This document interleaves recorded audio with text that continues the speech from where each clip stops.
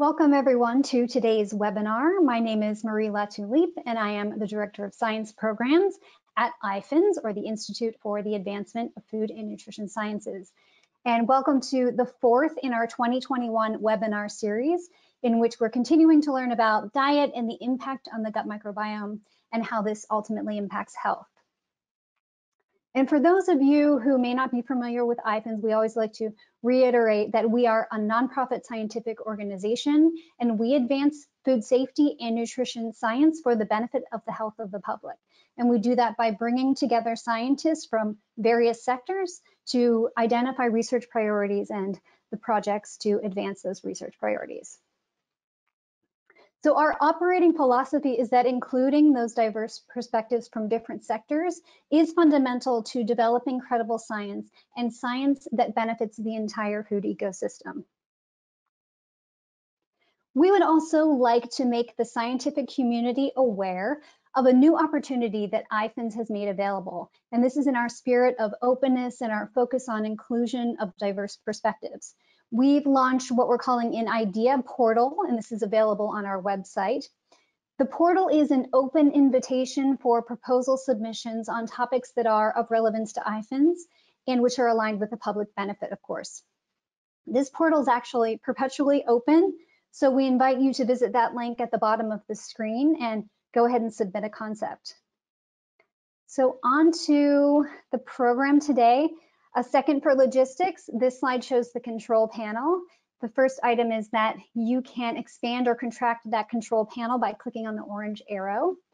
Second important point is the questions box. Please type in your questions as we go through the presentation at any time. And as we usually do, we'll take those questions at the end. So with that, we are very pleased to welcome Dr. Hariom Yadav. Dr. Yadav completed his PhD in 2006 at the National Dairy Research Institute in India, and then he was a postdoctoral, postdoctoral fellow at NIDDK from 2007 to 12. He then went to India for a faculty position, coming back to NIDDK as a scientist in 2014.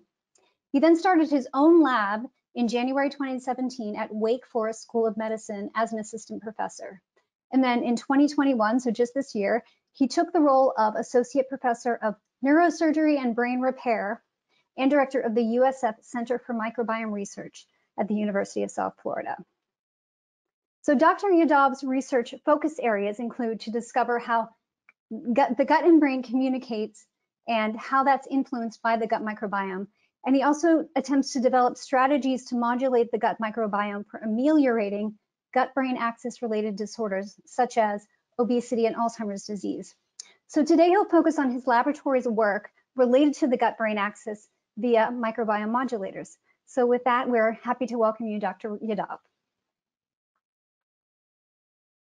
Great. No, thanks, Mary, for your um, very nice introduction. And um, I would like to welcome everyone and thanks for your time for joining um, uh, today's talk here. And uh, yeah, I will just talk a little bit about the um, about our research, what uh, we have been uh, doing on this gut-brain communication, and specifically I will talk today in, about the one topic on uh, how really the gut-brain communication involves in regulating the food intake and how the microbiome and its, their modulators can influence this uh, food intake behavior that can play the important role in regulating the body weight for uh, obesity and uh, and diabetes so uh, I just gave the title for uh, our today's talk is protect your brain by taking care of your gut and I will try to show some of the evidence how really we can uh, do that. Um, so um, I believe so this is now um, uh, most of us knows that the microbiome is uh, now has link with any uh, non-human disease. So you name any human disease, you will find the link of the microbiome. Uh, like for example, the microbiome role in uh, inflammatory bowel disease, cardiovascular disease, obesity, diabetes, autoimmune cancer, liver, or any other uh, diseases, including the brain disorders like Alzheimer uh, and others. Right. My lab is mainly focused on one of the area uh, where the microbiome plays the important role in obesity, diabetes, in aging and aging-related diseases like the Alzheimer disorders. But I will talk mainly about today about the diabetes and obesity uh, projects. Um, as the microbiome role in the human obesity and diabetes was the first one to be uh, discovered by the Jeffrey Gordon and his group uh, in 2006 and they uh, these are the uh, first few stories came out the microbiome uh, means the microbiome in the obese people is different than the microbiome of the lean people. And though, though that shows that and they, they proven that the microbiome uh, is not only actually the linked it is also one of the causal agent which can increase the risk of obesity and diabetes. And this is the kind of classical example of the experiments they have demonstrated was like when they took the microbiome from uh, obese twins versus the lean twins. They so so these twins were the homozygous twins because they choose this uh, uh, these twins because obesity has the genetic component in it so they want to eliminate the genetic component. So that's the reason they took the homozygous twins, the microbiome from the homozygous twins. But the one twin is obese, one other twin is lean, and they put the microbiome in the germ-free mice and and feed them on the same uh, same diet, low-fat, high-fiber diet. But interestingly, what you can see here, the mouse which received the microbiome from obese twins gain more weight increase the adiposity. Whereas the mice which uh, got the microbiome from lean twins uh, remain leaner, suggesting that actually having just the transferring the microbiome uh, from obese person to the uh, normal mouse can increase the uh, risk or increase the propensity to gain the more more weight and increase the adiposity showing that the microbiome is causal for increasing the risk of obesity and, and diabetes.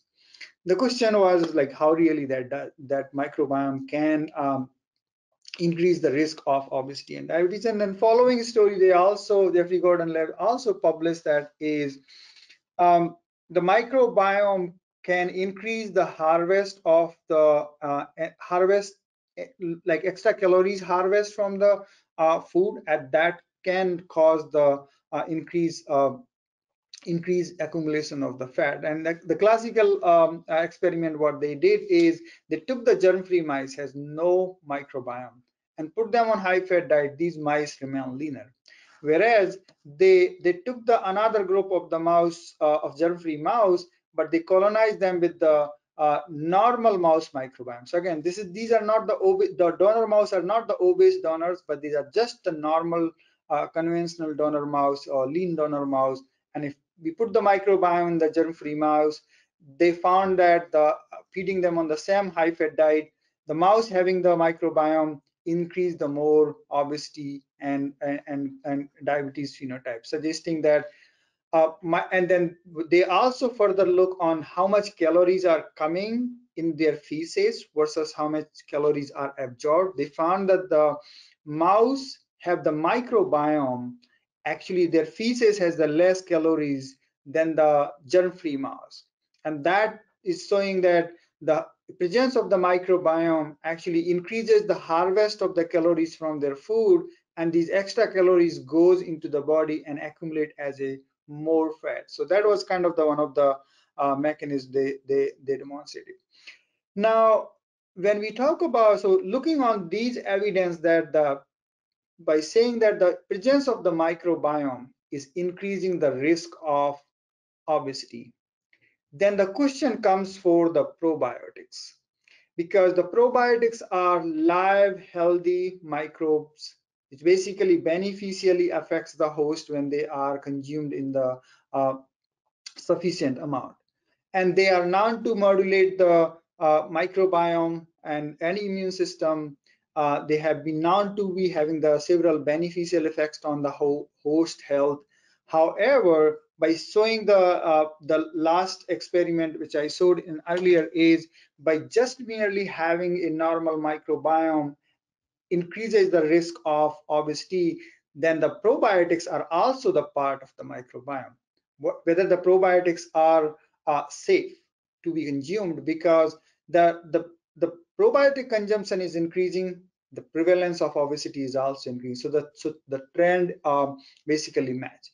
The another thing is uh, uh, this uh, documentary or the editorial came in the Nature Reviews of Microbiology uh, so, saying that is basically raising the direct question is whether the probiotics are good or bad for obesity and diabetes. And and the reason why they did uh, they raised this question is because the probiotics also have been used in the farming industry as a growth promoter. So mostly the uh, animal feed which are supplemented with the probiotics uh, are known to promote the uh, growth of the animals and uh, and and the higher production of the meat, right? Um, they also have uh, given the argument is when the animals um, lose the weight means get uh, treated with the antibiotics they put on the probiotics and they gain actually the weight much more faster right and then the on top of that as i said uh, uh jeffrey gordon's lab also showed that the, just merely having a pro, uh, microbiome can increase the more uh, risk of obesity that these all combined if, facts actually brings the question is whether the probiotics are good or bad uh, for obesity especially. Uh, and and i think so when when this editorial came there was a lot of uh, uh, chows in the in the whole dietary supplement or the probiotic uh, industry as well as the expert um, and try to say that no probiotics have been used for the long time. There is no uh, no uh, evidence that the probiotics uh, can be bad for obesity and diabetes. But the fact was is there was no data showing that whether the probiotics are good or bad for obesity and diabetes. So at the time when I was at NIH, we started a study by completely independent uh, study by selecting the five common probiotics available in most of the pharmacies at the time and uh, what we did is we designed an experiment where we selected the two control group. One is uh, red is the high fat diet control and then the blue one is the normal chow fat and then we also took these five probiotics and fed them with the along with the high fat diet to see uh, over the time whether these probiotics will increase the body weight gain or decrease the body weight gain or have no effect on the body weight gain. So look, looking on the adiposity. And we call this study as a prevention because we wanted to see the preventive effect of, uh, of these um, uh, probiotics. Um, interestingly, what uh, we found is uh, none of the probiotics actually increase the more body weight gain as compared to the high fat diet control, at least the what five probiotics we have selected. Some were more effective to suppress the body weight gain on high fat diet versus the other ones were less effective to gain the uh, to suppress the body weight gain. Interestingly, what we found is one of the probiotics, which is called the VSL3, now its name is changed, is called the Visbiome this VSL3 actually was very effective to suppress the body weight gain and keep these mice as similar as body weight as the normal chow mice are eating. So they, it's not like they are making them to have the very uh, low body weight, but they are kind of, this probiotic is making these mice to maintain the body weight, which is very similar to uh, normal body weight they're supposed to have right? So that was kind of very interesting for us. So we followed the VSL3 for further studies, how this VSL3 can re uh, reduce the uh, body weight gain. Um, although this is a prevention study, as I mentioned, was like very interesting for us. However, to make it more uh, uh translational uh, study, uh, really the, the limitation of the prevention studies into the human humans is uh, we cannot invite the people oh you are uh, normal weight. Come we will feed you the high calorie diet and we'll give you the probiotic and see whether your probiotic can protect. Really means it's not even uh, ethically right as well as means very few people will turn out for for that studies right? Um, so to make it more therapeutical uh, or more translationally important we we designed another study where we took the obese mouse and see if the this probiotic intervention can reduce the the body weight in, into the already obese mouse and which is kind of the easy i mean similar to the human study where you can invite the uh, overweight or the obese uh, individuals and and then um, uh, intervene them with the uh, probiotics and can see whether that probiotics can help to reducing their body weight or not. Um, so what we uh, what we did is, I'm sorry, what we did is we took these uh, diet-induced obese mice and uh, we switched half of them on the low-fat diet, and then uh, we kept we kept the half of them still on the high-fat diet, uh, plus minus VSL3. And you can see here the VSL3 whether they we switched them on high fat, low fat diet or when we kept them on high fat diet significantly reduced the body weight gain into the into these obese mouse and that was also uh, coincided with the decreased uh, fat mass into both of these these mouse models suggesting that the uh, VSL3 can be effective to reducing the body weight into the obese mouse models. Then the uh, the question comes is how really really the VSL3 can reduce the body weight in in these both of these uh, studies whether it's a preventive study or whether it's a therapeutic study so we were also measuring the uh, food intake in these mouse models. And interestingly what we found is as you can see here uh, whether it's a prevention study where the uh, how uh, where these high fat diet fed mice fed with the VSL3 actually decreases uh, or or maintains their calorie intake very similar to the normal chow fed mice.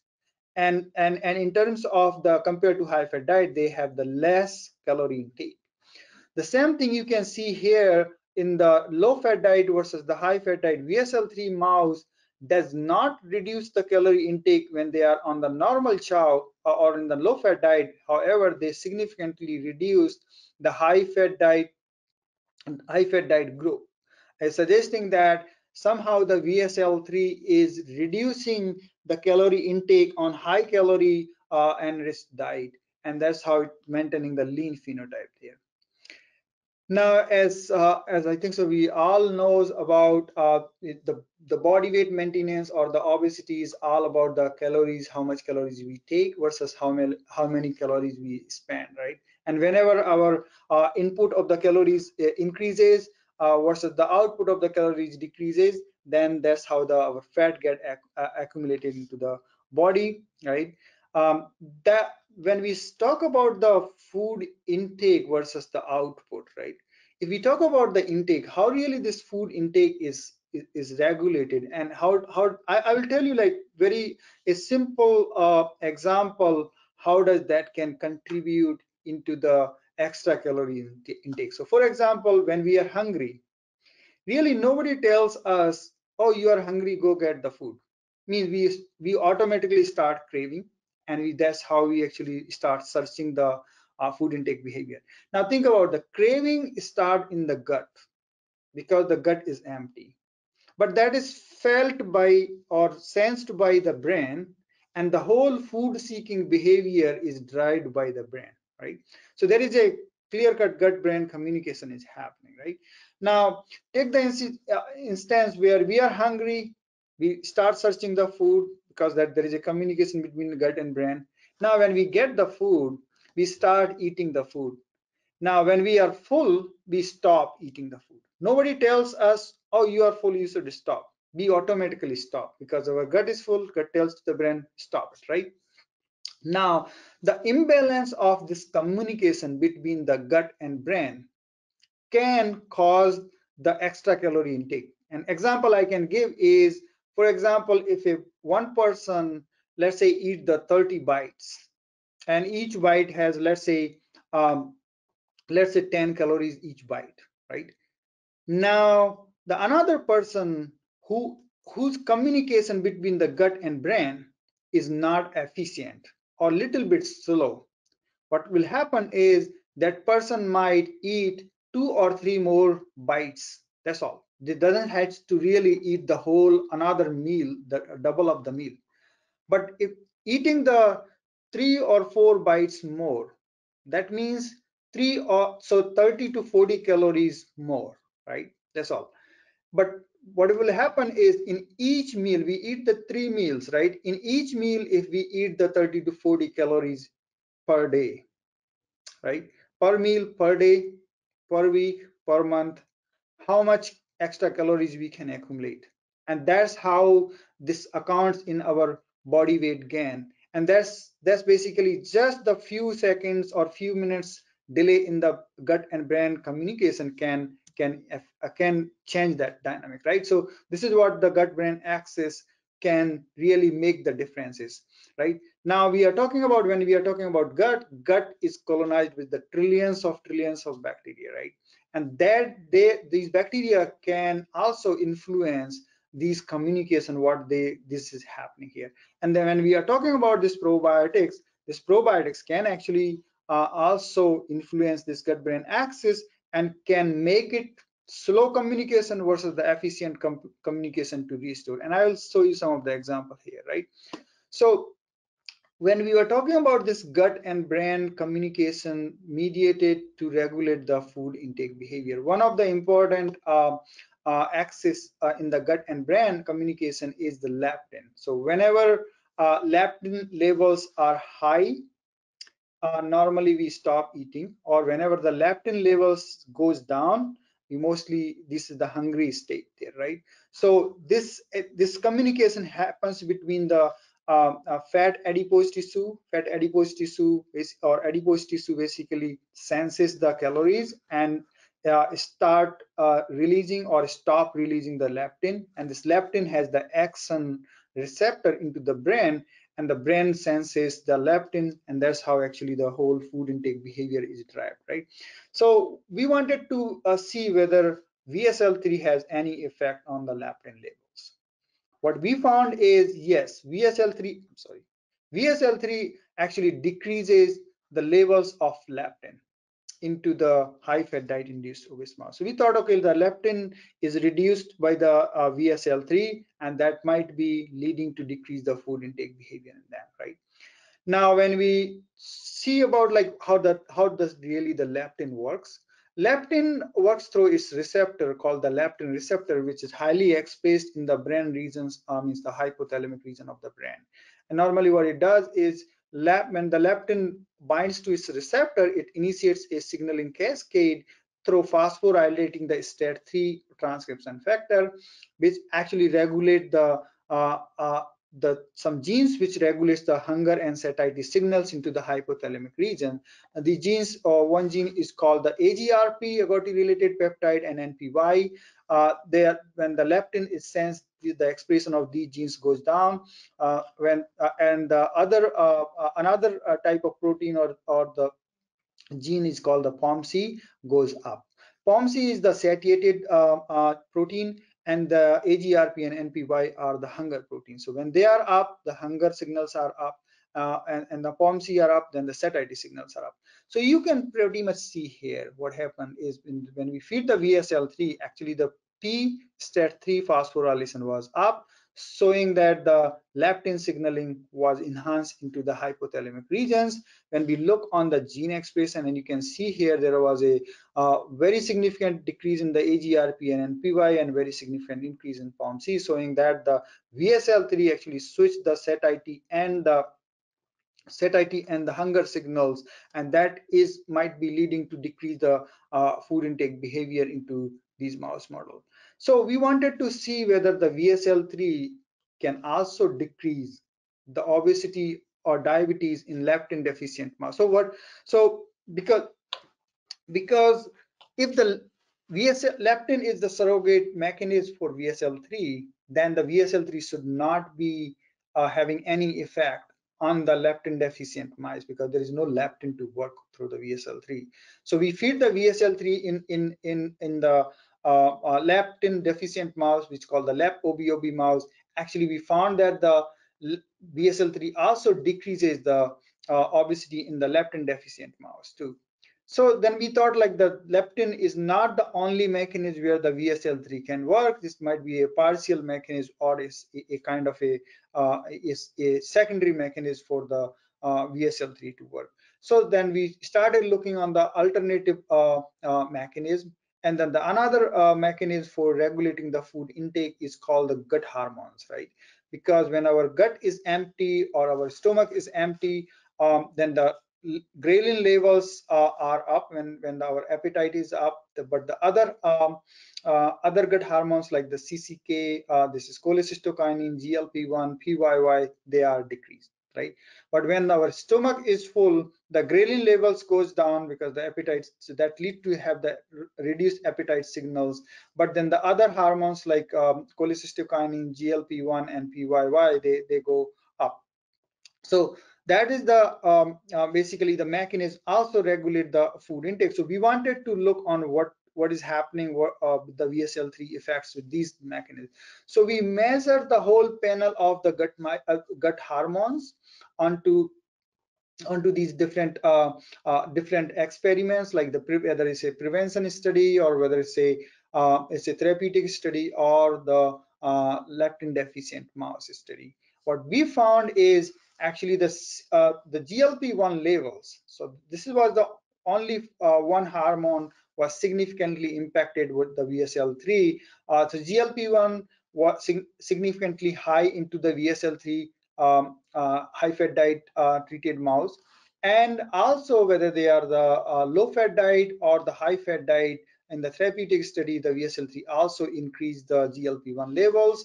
The serum um, GLP-1 levels were also high in the leptin deficient mice, showing that the VSL3 is increasing the GLP-1 levels, which might be responsible for decreasing the uh, food intake because the GLP-1 is known to be decreasing the uh, food intake uh, behavior into the mouse model.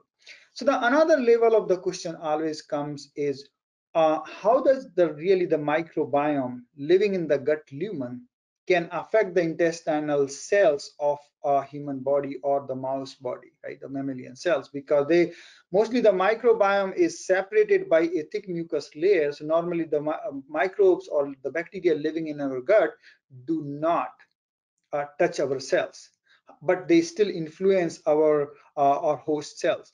The one of the mechanism is by producing the uh, metabolites by the microbiome. So we looked on the how does this, this VSL3 probiotic is actually impacting impacting the metabolite production. And what we found is the VSL3 was significantly increasing the levels of the butyric acid whether it's a high fat diet listed, whether it's a prevention study or whether it's a therapeutic study or it's a leptin deficient mouse, it constantly shows that the VSL3 feeding significantly increased the butyrate producing uh, butyrate production into the mouse gut that is linked with the reduced obesity and diabetes and that was linked with the reduced food intake uh, behavior into these mice. So based on these findings, what we concluded was is actually the high fat diet modulates the microbiome and it's known to increase the obesity and diabetes. However, feeding a high fat diet with the VSL3 uh, reverses those changes by increasing the certain type of beneficial bacteria which produces the beneficial metabolites like the short chain fatty acids, uh, uh, for example, butyrate, and we also, uh, although I have not shown the data, we also have uh, uh, challenged the L cells, which secretes the GLP-1, uh, also get stimulated by the butyrate, and this uh, th that's how they produce the more GLP-1, and that GLP-1 reduces the food intake. That's how they maintain the lean phenotype into the uh, mouse model and have the less incidence of of type 2 diabetes. However, we also understand and we also will we also found that uh, so whenever I, I talk to the physician, okay, can we initiate a butyrate clinical study to uh, see if that can reduce the body weight into the people? Um, so, so the question, so when I ask this question, the answer comes no. The reason why the answer comes no is because uh, the, the butyrate doses are needed to be higher, like for example, four to five grams per day and and the reason is most of the although these butyrate supplements are available into the market. So you can basically get the capsules for the butyrate. But they are mostly present in the sodium butyrate potassium butyrate calcium butyrate magnesium butyrate.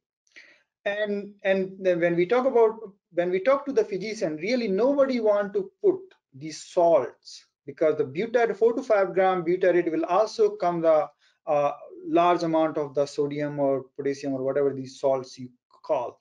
No physician want to put the diabetic and obese people or older people who has the higher who has the higher uh, body mass index on this high salt because these this particular population already have high risk of these salt related problems so so that's that's the reason there is a lot of uh, means resistance and that that is the reason you can also see in the clinicaltrials.gov there, there are very few or there are almost none of the studies uh, are uh, are proposed for for that that region another thing is this higher dose and the low efficacy also comes is because the butyrate is a short chain fatty acid. When we take the oral route it basically uh, metabolized by our digestion process uh, and absorbs in the upper part of the intestine as I said, the butyrate stimulate the GLP-1, but the GLP-1 producing cells are mostly in the lower part of the gut, like in the colon.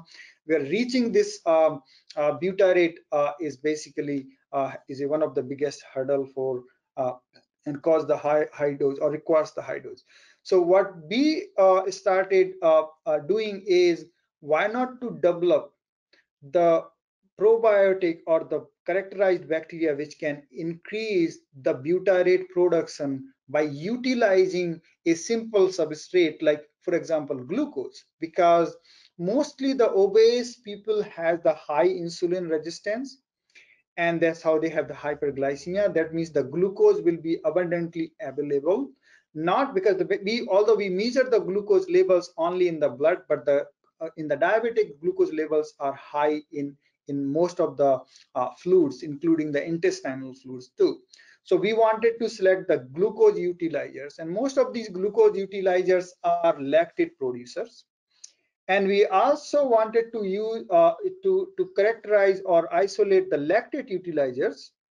Most of the lactate uh, uh, utilizers are known to be producing the butyrate because they, they have a mechanism there. So what we did is we started isolating them from the infant diapers uh, and we wanted to make it like more complex uh, consortia of the probiotics by having the different kind of the species and we call that as a probiotic mini microbiome because probiotic has several limitations or there is a lot of controversy about the probiotics whether the probiotics really works or not works and one of the reason is because many of the probiotics are the single strain or the single species, or might be the two species one, right? And what we are talking about is we are talking about changing the whole complex microbiome by just utilizing one or two type of strains or one or two type of the species.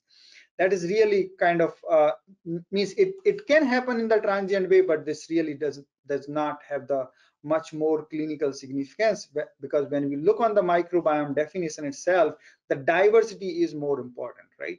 So really by colonizing the microbiome with the certain types of bacteria will decrease the uh, decrease the diversity there, which which is not also uh, bene uh, beneficial in the longer term, right? So we want to kind of increase the different kind of the species there or genera there and they can find their own commensals of the partners and that's how they can increase the more diversity than having the just sending the one type of lactobacilli or bifidobacteria uh, in, in, in, this one. So that's how we we started compiling this mini microbiome uh, uh, concept uh, there.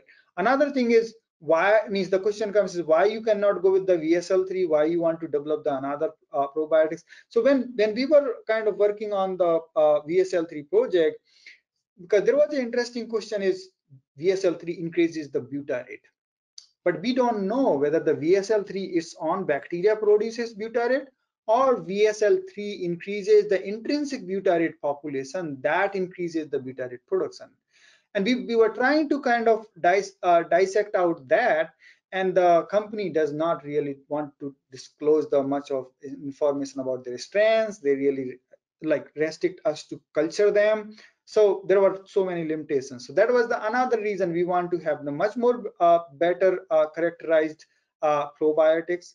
Also we don't know from where those uh, vsl3 and the other probiotics have been isolated but we want to do this from the human origin uh, from the baby diapers right? So that's how actually we started this uh, whole approaches. And what we found is actually we wanted to also test is as I said, the single type of the strains versus the multiple type of the strains, whether they have the different effect on the microbiome, right? And you can see here, uh, what we did is when we, we, we compare the microbiome from the control means non-treated mouse, uh, as well as the uh, only uh, five types of five strains of the lactobacilli, but only one one type of the genera. Then we also use the five enterococci, and then we mix them, make make the cocktail of the 10 different strains, five from lactobacilli, five from enterococci.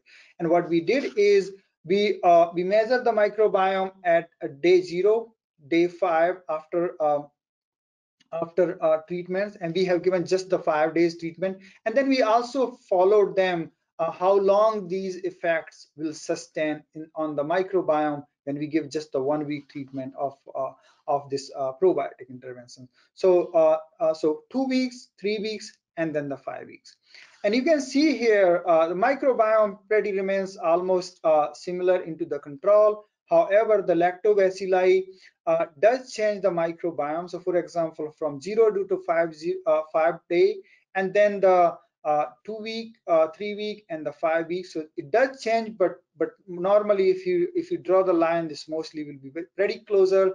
Enterococci also changes the microbiome, and the uh, the cocktail also changes the microbiome. But the cocktail does change the more microbiome than the uh, single type of the species. And this is the another example you can see here. The microbiome changes are also uh, more prominent in the cocktail as compared to the single uh, type of the genera probiotic, right? We also have looked on the short chain fatty acid production, and you can see here the cocktail induces the higher production of the beneficial metabolite like butyrate and propionate as compared to the uh, single uh, species, single genera uh, probiotics. We also have done the single dose. We also wanted to see if somebody takes just only one dose, how long these effects will sustain. And we could see that after three days, these effects are washed out. So that so that also shows these uh, probiotic effect on the microbiome are transient, not the permanent. We also looked on the uh, whether these are the, just the mouse uh, effect are only in the mouse or we can also see the similar effect into the human. Uh, we have we have done the uh, human microbiome culture studies, and you can see here the lactobacilli and enterococci does change the microbiome. However, in the culture system itself has the major effect on the microbiome uh, effects. Also, the same thing on the short chain fatty acid analysis. So, but it, it the probiotics does change the microbiome distinctly also it also has the higher uh, uh, the cocktail again increases the higher production of the butyrate as compared to the other as compared to the single genera uh, species. So based on uh, on this um, uh, data, what we conclude here is the one one week feeding of the newly developed these human origin probiotics uh, changes the microbiome both in human as well as in the mouse models. These new probiotic cocktail also enhance the microbial diversity in the artificial human uh, uh, human fecal microbiome culture system. Probiotic uh, uh feeding as well as the uh, supplementation with the human fecal slurry also increases the beneficial metabolite production in human and the mouse microbiome. Uh, we also started asking the other question is, are there any other are there any other uh, ways to modulate the microbiome and increase the butyrate production. Uh, we also tried the approach of the prebiotics. Prebiotics are normally uh, uh, considered as a food for the uh, good bacteria.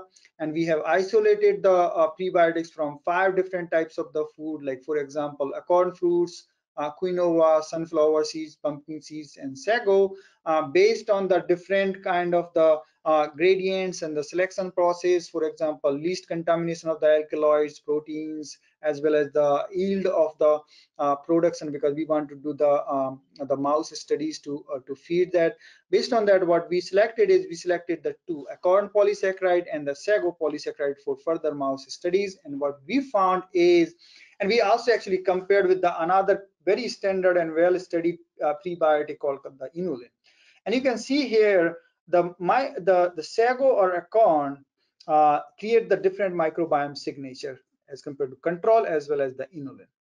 Uh, interestingly, when you look on the mic, uh, microbiota profiling, uh, sago and the acorn, they increase the more beneficial bacteria like the bacteroidetes, which are significantly down in, in the obese and diabetic uh, people as well as in the mouse models, and also creates a very uh, strong microbiome uh, changes you can see here in this cladogram uh, where the sago has the very prominent effect like the you see this uh, pinkish color uh, uh, the effect on right? Uh, and then the second one is the inulin also has the very very strong effect. However the acorn shows the very very small effects but these red dots also shows the very specific bacteria were proliferated by feeding of these acorns now, we also wanted to see whether these uh, uh, these prebiotics are fermentable in terms of reducing the pH of the uh, feces. And you can see here, uh, yes, this acorn and sago, they decreases the pH almost very similar to the inulin. And also they increases the production of lactate and other short chain fatty acids, uh, very similar to uh, inulin. And, and in some cases, they were more uh, prominent like for example uh, propionate was significantly increased into the acorn and the sago um, fed mice models um, they, the, the, feeding of these uh, prebiotics also enhanced uh, the glucose metabolo metabolism by suppressing the glucose intolerance as well as increasing the glucose sensitive, the insulin sensitivity into these mouse models. Uh, they are the feeding of these uh, prebiotics also reduce the accumulation of fat into the uh, adipose tissue. We have the fat mass and other measures I am not showing here. It also they also reduces the accumulation of fat into the liver, so reduces the fatty liver uh, disease into the high fat diet uh, fed mouse.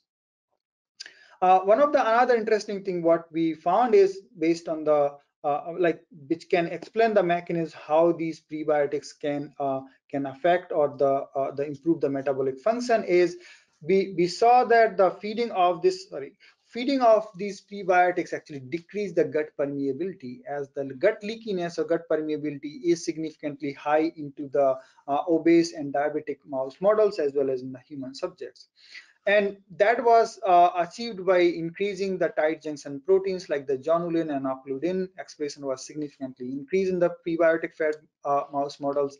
We also have seen the brain axis like where the uh, POMC and the satiety inducing uh, uh, gene expression was also increased in, in, in these prebiotic fed mouse.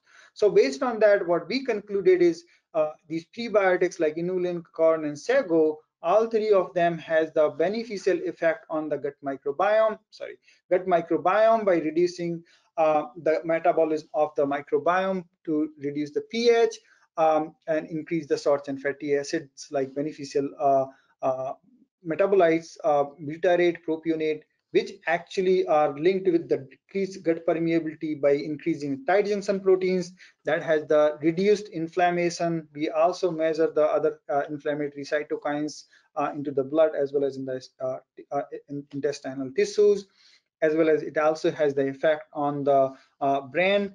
And that's how it actually increases the insulin sensitivity and decreases the type 2 diabetes and obesity in the mouse models. Now the question comes is, okay, now we have the this butyrate producing probiotics as well as prebiotics. How really we can deliver them to the humans? To uh, to to deliver them in human, one of the common um, route we we found that is we can incorporate them in the uh, the milk and and make a yogurt uh, by by combining both the probiotics and prebiotic, and we can call that as a synbiotic yogurt. So both the probiotic butyrate producing probiotic as well as the butyrate uh, inducing butyrate production inducing prebiotics, and we can increase we can put them together and and make a this synbiotic yogurt. So we also find out that is the feeding of the synbiotic yogurt actually suppresses significantly the progression of type 2 diabetes uh, induced by the streptozotocin and, com and combined with the high fat diet However, when we were comparing this uh, effect with the with the commercial yogurt, we found that the commercial yogurt was somehow increasing uh, the more incidence of uh, type uh, type 2 diabetes or diabetes uh, as compared to even the milk uh, control. That was kind of the surprising for us, and we repeated this this um, this study for three times, and we found the same thing. So we are further kind of trying to figure out what what was the wrong with this uh, uh, this particular uh, commercial probiotic uh, yogurt. And we are also further studying the more mechanism of the synbiotic yogurt to reduce the food intake. So I would like to summarize here my talk by just uh, saying the few uh, conclusions here as I hope I have uh, shown the enough data to convince you uh, con by concluding that is the probiotics are not bad for obesity and diabetes. Even some probiotics can be beneficial for reducing the obesity and diabetes risk. Uh, gut microbiome metabolites, for example, butyrate have several beneficial metabolic effects like enhancing or increasing the GLP-1 production, uh, which can uh, contribute in the regulation of the food intake by modulating the gut-brain axis. Uh, and this butyrate can be, butyrate production can be increased by the probiotics and prebiotics what uh, uh, what we have uh, newly isolated from the human origin. So overall like the take home message uh, what i would like to uh, conclude here is really take care of, of, of, your gut. That can make sense and watch the calories for you uh, rather than we work hard for the other ways to to do that. And with that i would like to thank my lab members my former lab Uh, uh, PI and, and, and other lab members and the teams of Wake Forest School of Medicine, University of South Florida, uh, as well as uh, the funding agencies for uh, supporting my research. And I would be available on, on this contact. So feel free to reach me anytime. I would be happy to take any questions if you have.